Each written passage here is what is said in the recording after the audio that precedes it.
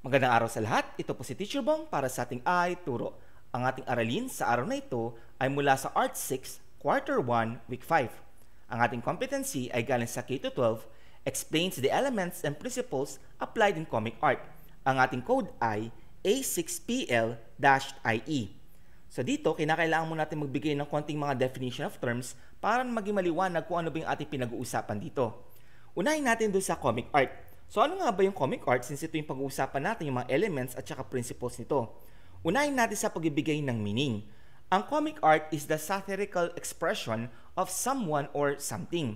Ibig sabihin, ang comic art, ang pinaka-focus niya ay magbigay ng isang pagpapaliwanag sa isang bagay na medyo nakakatawa o kaya ay batay doon sa bagay na nagpapainis sa mga bagay na to.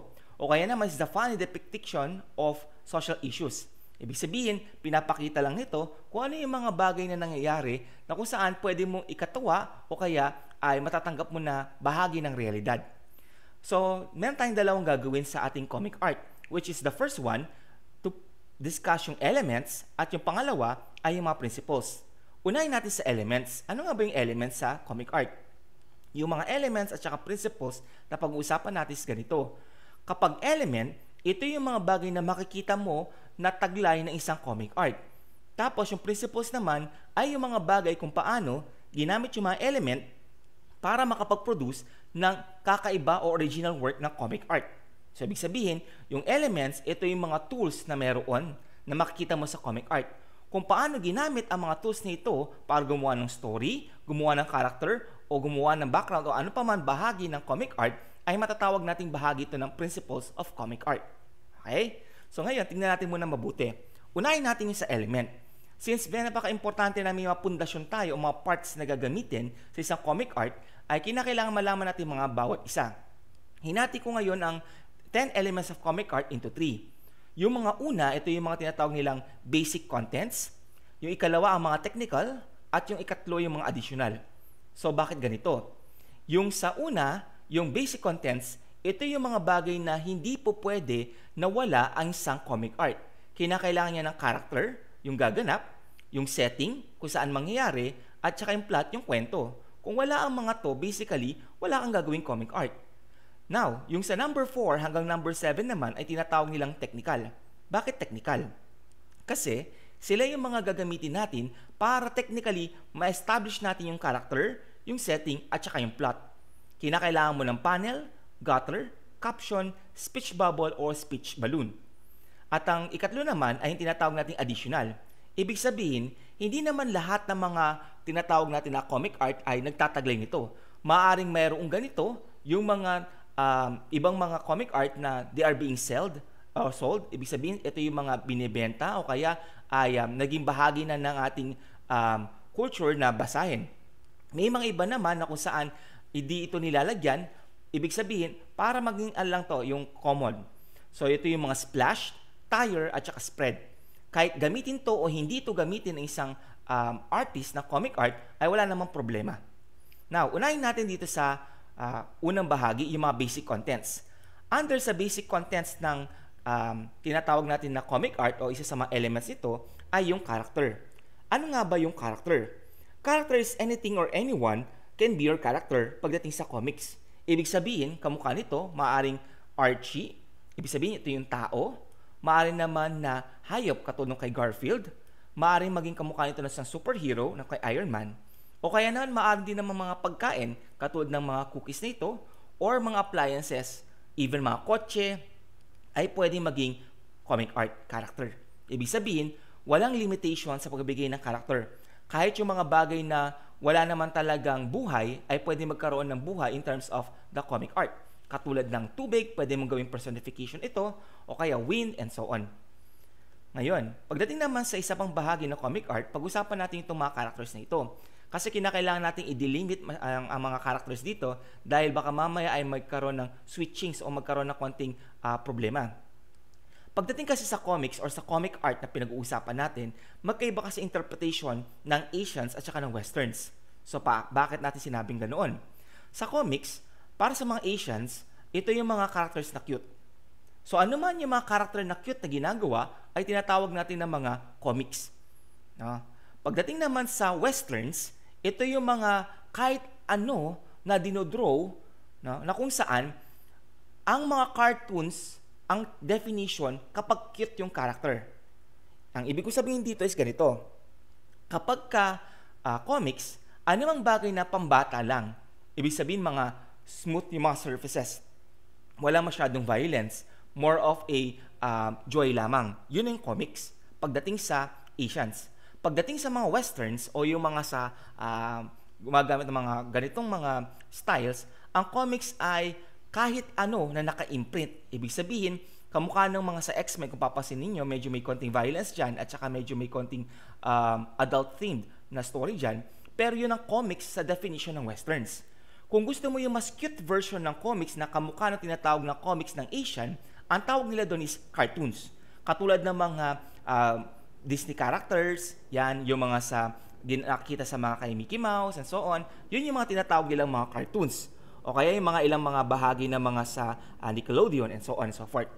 So ngayon, pag-usapan natin itong mga characters na ito. Katulad dito sa Asians, no, meron tayong, actually kung tutuusin, maraming mga naging sikat na mga um, Asian characters na comics. Meron din naman yung sa mga westerns. Sa mga Asians, uh, maraming mga ganito, pero for example, sa atin, yung Pugad Baboy ni uh, Paul Medina Jr., isa sa mga magandang mga examples ng mga uh, sariling atin pagdating sa comic art na kung saan dinatakil nito yung mga iba't ibang mga uh, Filipino var- uh, virtues, values at saka yung mga social issue na rin. Next is yung Mickey Mouse naman. Ito naman ay Mickey Mouse ay karakter na makita natin na kay Walt Disney. And then meron tayong sa X-Men na kung saan medyo adult team to about superheroes naman. Ito sinasabi natin na even though may konting violence in this case, ito ay tinatawag itong comics pa rin sa westerns. So sa atin, hindi na tinatawag ito na comics, kadalasan tinatawag na itong mga bahagi ng manga o kaya mangwa and so on. So ngayon, pag-usapan natin itong muna si Mickey Mouse kasi ito yung pinaka sa mga sikat na karakter ng comic art. Now, ang uh, si Mickey Mouse ay creation ni Walter o Walt Elias Disney.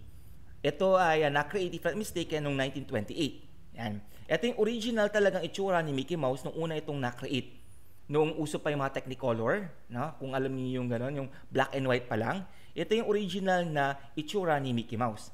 Medyo malayong malayo ito dun sa pinaka-finished product natin or yung mas common na kilala natin. So ito yung kay Mickey Mouse. Then afterwards, nagkaroon ng revolution, nagkaroon ng pagbabago. Ang pinaka-pagbabago dito na napapansin niyo sa first picture tsaka dito is, nagkaroon siya ng gloves para i-hide yung kanyang kamay at saka nagkaroon siya ng boots or ng uh, kanyang uh, shoes. Yan. Pagkatapos, lumaki yung mga uh, bilog dito, yung mga parang uh, buttons, buttons dito. Then, yung kanyang mata ay medyo lumiit. Yan, naging ganito kanyang tsura. Then, ito ay further na develop pa na kung saan nag full black na yung uh, kulay ng mata ni Mickey Mouse. Then, finally, ito yung naging pinaka-last or pinaka-finished product. Mas humaba na konti yung kanyang um, iconic, ito yung iconic yung picture, no? Mas humaba na konti yung kanyang uh, shorts. Yan. So, ganyan yung nangyari sa kay Mickey Mouse in terms of evolution. Now, pagdating naman sa pinag-uusapan natin kanina, iba kasi yung comics at iba yung sa mga manga. So, bakit magkaiba sila? At ang manga itself ay nahati pa sa dalawa. May manga at saka yung mangwa. So, bakit? Paano to nagkaka-different? So, yung mga manga at saka manhwa, kadalasan na kanila pinaka-difference is the character. Ibig sabihin, saan galing or sino yung artist nito.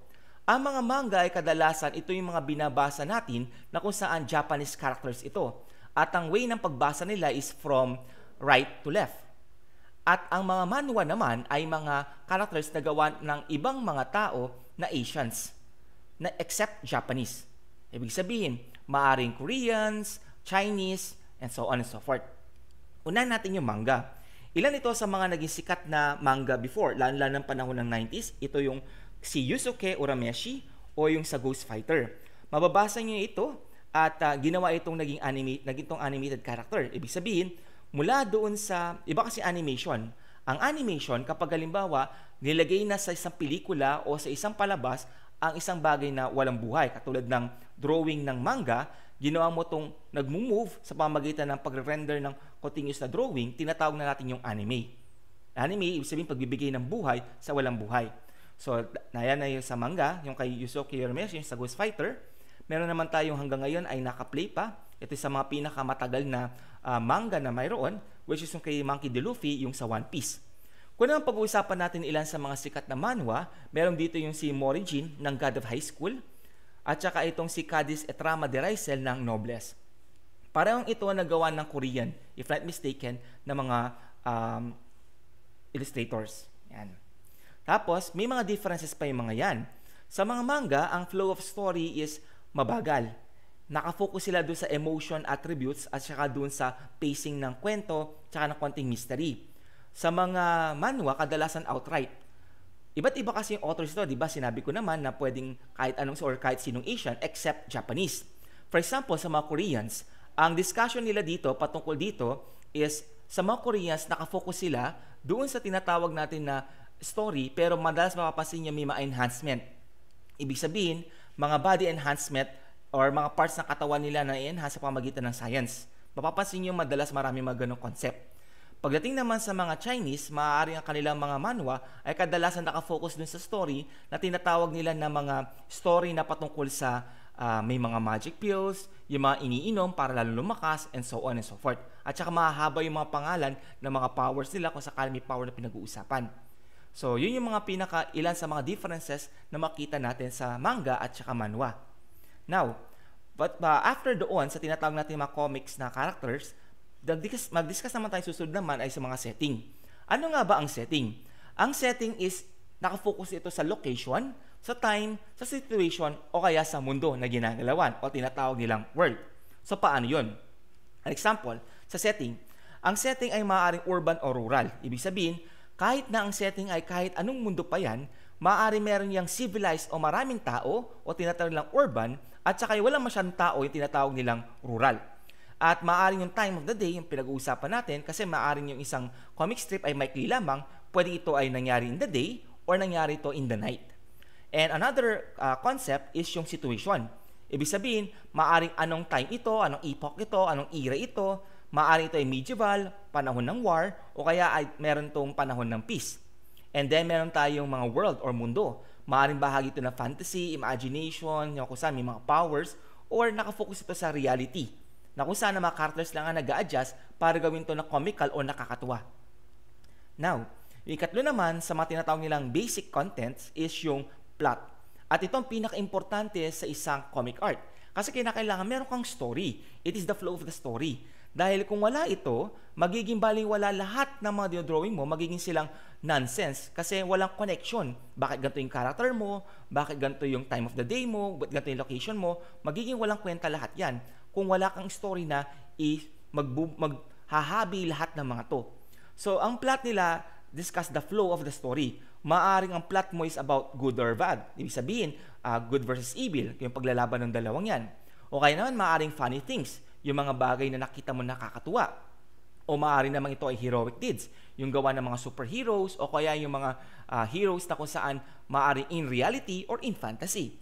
Then, meron din tayong slice of life. Pag sinabi mong slice of life, maaaring bahagi ng buhay. Mamaya pag-usapan natin ito pagdating sa themes. Pero most likely, ito yung mga bagay na uh, nakikita natin in reality. Katulad ng love story, maaaring ito ay uh, rags to riches, o kaya story ito ng perseverance, and so on and so forth. Now, dumako naman tayo sa mga technicals. Ito yung mga technicals na kung saan, whether we like it or not, kinakailangan natin ipakita or i-show ito sa isang comic art para maging mas ka-organize or magkaroon ng technicalities at nagkaroon ng uh, order do sa ating ginagawa. Ano-ano ang mga to?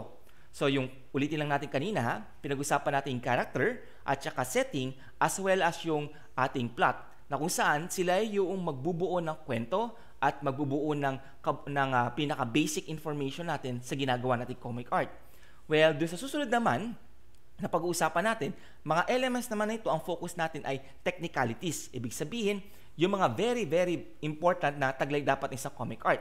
Meron tayong panel, gutter, caption, speech bubble, or balloon.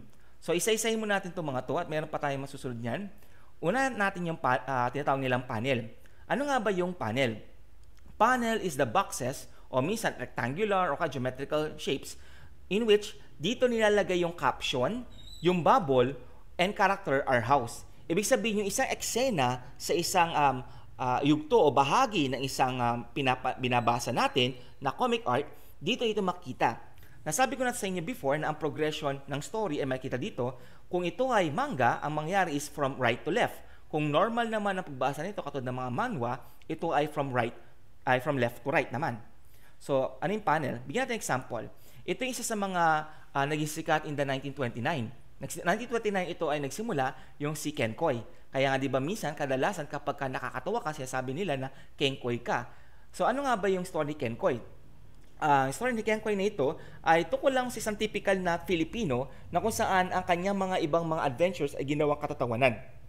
So ngayon, uh, pag-usapan natin yung sa tinatawag natin na panel. Pansinin niyo itong nakakulay blue na ilaw or na highlight na to. Ibig sabihin, yung merong laman maaari na ito speech bubble or speech balloon o kaya naman ito na kung saan may kasama na tinatawag nating caption, yan na tinatawag nilang panel. Ito yung susunod na kwento ng or flow ng story. Yan, dahil nga ito ay Filipino, left to right ito, ang version. Tapos top to bottom. Next, gutter. Ang gutter naman is the space between panels. So alam naman natin kung ano yung sabihin ng space. Ito example, gutter to. Pati dito sa taas, gutter yan na kung saan isineseparate nito yung picture na unang illustration which is panel 1 to panel 2 to panel 3 to panel 4 and so on para hindi masyadong magulo sa paningin para makasunod yung ating mata sa flow ng story. Next, caption. The narrator in the comic, the third person. Kadalasan ito yung nagkukwento yung mga bagay na hindi na kailangang sabihin ng characters. Katulad ng halimbawa, sasabihin ba ng character kadugtong ng nakaraan hindi naman kinakailangan sabihin yon kasi sa story, siya ay pinanonood. Hindi niya kailangan ipaliwanag yung kanyang sarili because ang narito ang gagawa nun. So, yung tinatawag nilang caption. Okay, maaari sabihin niyang ito ay tukol sa time of the day, o kaya yung situation, o kaya yung mga nangyari, o kaya to summarize yung isang mahabang picture, sasabi, i-explain na lang ito ng narrator. Hindi, parang hindi na kinakailangang ipakita pa sa flow ng story.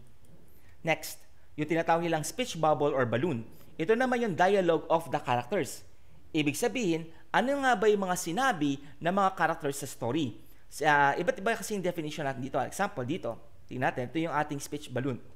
Now, um, kadalasan, kapag yung mga ating speech balloon ay patusok ang kanyang mga dulo-dulo o kaya mga sides, ibig sabihin naman ito, ito ay pasigaw. Kung ito naman ay makita mo na no, sa normal na pa, uh, pabilog-bilog lang yung dulo o mga curves lang, ang ibig sabihin lang, typical na pagbabasa. At kung ito naman ay masyadong cloudy, yun naman ay kapag ka, ang tao or character ay nag-iisip or nasa imagination niya lang or sinasabi niya lang sa kanyang sarili. So yun ang mga definition or examples ng mga speech balloons. Next, pag-usapan naman natin yung uh, splash. Splash is the full page illustration that creates the main idea or concept of the comic issue, series, or the comic itself. Okay, bakit meron siyang or?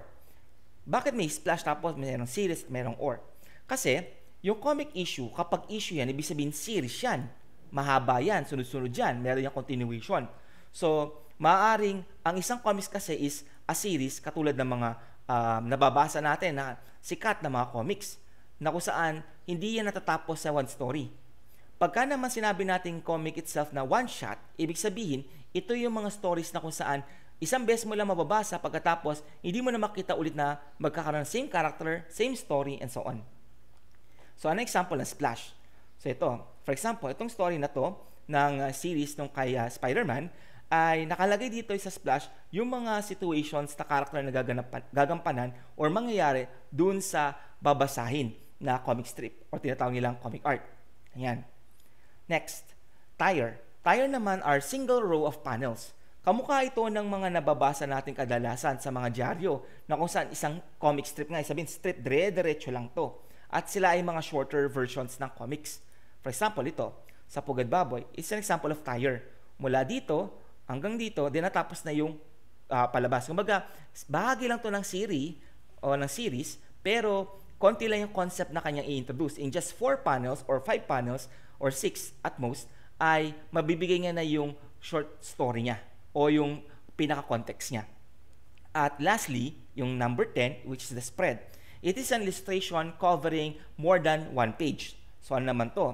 Ito yon no? sa page. Ibig sabihin, Kung papansinin natin mabuti, as in this case, ng sa Justice League, ay dalawang page ito nung ito ay inilabas. No? At uh, meron sa left at saka right na kung saan kinover yung dalawang page ng iisang picture. So tinatawag natin spread from the word spread. Sabihin kumalat. Nakalampas ito, ito ay two-page spread. Meron naman na minsan hanggang dito lang o kalahati lang ng um, second page o kaya naman ay nakaspread lang siya all throughout. So nagmumukha siya isang malaking illustration. Now, doon naman tayo sa principles of comic art. Ito yung mga na-discuss natin kanina ay mga elements. Ulitin lang natin kung ano ito mga to. Yung ating character, setting, plot, panel, gutter, caption, speech bubble or speech balloon, splash, tire, at saka spread. Pag-usapan naman natin yung mga principles. Paano ba gagamitin itong mga elements na to para makagawa ng principles pagdating sa comic art? Sa principles, meron tayong anim, which is yung analogy, caricature, movement, no limitations, theme, at saka yung style. Ito yung mga anim na prinsipyo na dapat nating matutunan pagdating sa comic art. Now, unahin natin yung una, which is the analogy. Ang analogy is the representing something in the real world. Anong ibig sabihin nito? So, for the time being, yan, makita natin na halimbawa dito, yung concept of good and bad, alam naman natin na nandyan yan ever since. So, ito ay maaaring, maaaring gamitin na analogy dun sa mga superheroes. Or in case naman, analogy na kung saan, kung napapasin natin, si Captain America no kalaban niya si Red Skull, ay itong story na to, kung papasin niyo kanyang setting itself, ay history uh, historically uh, speaking, ito ay nangyari ng World War II. Ibig sabihin ng kanyang setting ay World War II na kung saan ang Allied forces ay kalaban nila yung Nazi Germany. So ganun yung nangyari. That is why yung kanyang uh, story binibigyan ng analogy kung paano na defeat ang ng Allied forces yung sa uh, yung kabilang puwersa. O maaari naman dito sa uh, picture ni Ken Koy, yung Filipino values. Pansinin niyo mabuti, for example, Di ba? Ito kunwari yung lalaki, maliligaw doon sa babae, then yung maaari na kanyang kapatid, o kaya yung isang taong malapit sa kanya ay talagang hinigpitan niya na bantayan ang either ate, ate niya o kakilala niya. So, ito ay isang example ng analogy na typically nangyayari naman sa toong buhay at most. Next, yung caricature. It is the exaggerate important features. Tandaan natin sa comics, kinakailangan mo exaggerate yung isang part na sa palagay mo mahalaga kung ilong, mas lalakihan mo yung ilong. Kung ulo, las lalaki mo yung ulo. Dito sa ating example, gagamit ako ng manga. Even though hindi ito comics, kinakailangan ko lang kasing emphasize yung mga parts na gagamitin natin pagdating sa comics dahil since ang mga manga ay mas kilala naman pagdating sa mga comics. So example dito, sa caricature natin, ay gumagamit tayo ng SD or superficially deformed. Ibig sabihin, yung mga parts ng katawan ng tao or characters natin dito ay hindi sila aligned in terms of proportionality. Ibig sabihin, in typical reality, hindi ganito kalaki ang mga sizes dapat ng mga parts ng tao na to. For example, si Mr. Oliva ng Overmassa sa Baki the Grappler, kung papasinin nyo, although bodybuilder siya, this is too much muscle na talaga kasi lumalampas na siya doon sa kumbaga sa muscle mass natin ay medyo hindi na makatotohanan. Even the story itself yung sa Baki the Grappler is impossible na in just one hit kaya mong basagin yung pader. Next, si Makarov naman, yung pagkakaroon niya isang malaking ulo. Yan. Ito yung pinakamaganda example na tinatawag nilang ST or superficially deformed. Dahil kadalasan sa mga comics uh, na mga ginagawa natin ay malaki-malaki yung ulo. Ngayon, iniisip ng iba, bakit mas laging malaki yung ulo at yung katawan hindi masyado? Ang sagot doon is, kinakailangan kasi sa comics na maipakita natin yung facial expression. Kung masaya, malungkot, kung halimbawa ang katawan natin ay bibis natin sa proportionality, hindi masyadong makikita kung anong emosyon ng character maaring hindi mo alam na galit siya o nakangiti siya dahil minsan may mga parts ng characters na kunwari masaya siya in statement pero sa kanyang muka galit na galit siya para gumawa ng isang uh, parang uh, kabaligtaran na kanyang sinasabi. So kinakailangan palakihin ng mga muka para ma- mapakita ito. So ito yung example ng kay Makarov bilang best example pagdating sa pagbibigay ng facial expression. So si Makarov sa pagkakaroon ng big head sa fairy tale na manga yan, no? Next naman yung sa One Piece din, ng manga din, yung kay Usopp, yung pagkakaroon ng malaking ilong. At uh, maaaring kamukha siya ni Santengu, no?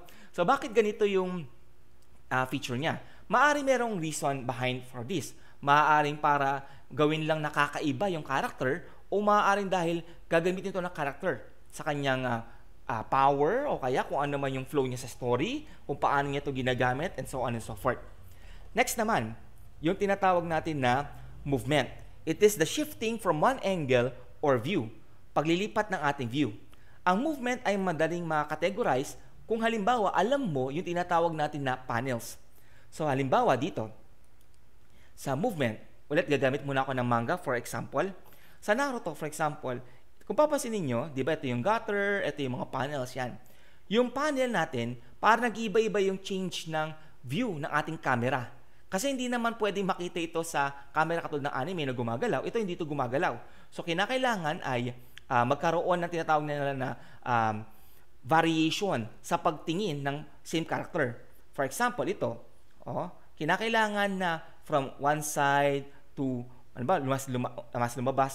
Kunwari yung, uh, yung ating uh, character, tapos nagkaroon ito ng movement na nag-focus sa isang character, panibawang character. So parang nag-shift no, from uh, one scene to another. So ito, binabago nito yung ating pagtingin or view dun sa nangyayari. So maaaring makapag-focus ka sa character one at a time, o kaya naman ay yung story ay parang maramdaman mo siya na nag-move. At yun ang pinaka-purpose ng movement, na para bagang ikaw ay sumasabay sa galaw ng characters. Next, no limitation. Imagination is your limit. Tandaan, pagdating sa comic art, kasi nga, even characters katulad ng uh, sandok, palayok, pwede mong gawing mga ka- comical character. So, ibig sabihin, wala kang limitations dito. Katulad ng, bibigay tayong example dito, yan. Ito, sa limitation. Nung naglaban si uh, Urameshi at saka si um, si Benjo, mas kilala siya sa uh, sa Benjo, no? Pero I think iba yung pangalan niya pagdating sa Japanese character, Rando, no? So yan, example, using logic and additional characters. Example dito, wala siyang way para talunin itong character na to. Pero dahil sa nahulog siya at nalagyan siya ng, um, ito si Urameshi ng uh, dirt sa kanyang tenga, ay yung spell ay bumalik kay, uh, dito kay Benjo. So parang yung situation dito, yung, imit- yung pag-iisip mo na matatalo na dapat yung bida pero merong isang bagay kang may isip na kakaiba o kaya naman ay isang fairy tale, dagdagan mo pa ng mga characters para lang magkaroon ka ng iba't ibang mga situations. No? At para lalo maging enrich yung iyong comic art. Next, yung theme. Ang theme is, it does not go out of bounds. Ano ibig sabihin ko na it does, it does not go out of bounds? Maaring ang limitation mo is unlimited. Pero tandaan, ang team mo ang maghahabi-habi ng lahat ng yan. Kinakailangan huwag kang lalayo doon sa team mo. Hindi po pwede na pwede yung superpower sa isang part pagkatapos sa susunod, hindi na pwede yung superpower. Impossible na. Halimbawa, ang karakter mo ay nakakalundag ng isang building. Pagkatapos pagdating ng second uh, panel mo, ang karakter mo ay hindi na makaya lumundag ng isang building kasi uh, tao lang siya. Yung mga ganong eksena. So, hindi ka po pwedeng maging out of bounds. Hindi pwedeng hindi magkakatagma itong mga to. So sa team natin, pasilin natin mabuti itong ating uh, pag-usapan yan. Ang team kadalasan ng stories ay marami ito. Maaring ito o kaya additional pa or pagdugtong-dugtong ang mga to. Meron tayong mga adventure katulad ng One Piece. Ito mga example na binibigay ko are manga kasi ito yung pinakasikat na example para madaling ipaliwanag at makita. Yung mga love story katulad ng sa Fushigi Yuji, yung sa fantasy katulad ng mga Disney princess, yan, ito yung example ng mga comics naman, no? na kung saan yung mga Snow White, um, Beauty and the Beast, Rapunzel, and so on. Yung mga school, yung Salma Classroom Assassination, God of the High School, yan. Meron namang hero, kamukha ng Boku no Hero Academia, yung mga X-Men na comics, yan. Meron naman tayong mga horror, katulad Tales of Unusual, ito magandang story to ng uh, horror, pagdating, ito yung gawa ng Koreans, no? Tapos yung sports, alimbawa, yung sa uh, yung boxing katulad ng Hajime no Ippo, yan o kaya naman yung mga sa volleyball, yung uh, stories naman ng mga sa football and so on. Iba't ibang sports na mayroon. Uh, God of Tennis and so on and so forth. Yan. So yan ay mga iba't ibang klase ng mga themes na magagamit. And yung style naman, ito is yung unique of the comic. Ito yung kakaiba. Maaari hindi mo ito gamitin itong tinatawag nilang style kung halimbawa ang purpose mo lang is mag-relay ng information. Kung ang focus mo lang is magbigay ng detailed na isang pangyayari o social issue at wala ka na masyadong um, idea na yung character na yun ulit-ulitin mo, eh pwede kang hindi magbigay ng tinatawag nilang style. Pero kung halimbawa ito ay para uh, ibenta, kinakailangan meron kang kakaibang style. For example, doon sa mga gumagawa ng mga manga, pasin ninyo, ay may mga masya-sharp silang mga uh, parts pagdating sa mga nose, ganyan. Pagdating naman sa mga comics na kung saan ang focus nila is para nga magbigay ng uh, katatawanan, kadalasan ginagamit nila yung mga rounded, yung mga edges na kanilang mga face and so on. Except for making them funny characters. So yan yung mga principles of comic arts, yung analogy, caricature, movement, no limitation, theme, at saka style. So balikan lang natin ating pinag-uusapan. Ang ating competency I explains the elements and principles applied in comic art. Ito po si Teacher Bo nagsasabing stay home and stay safe. Salamat sa pakikinig.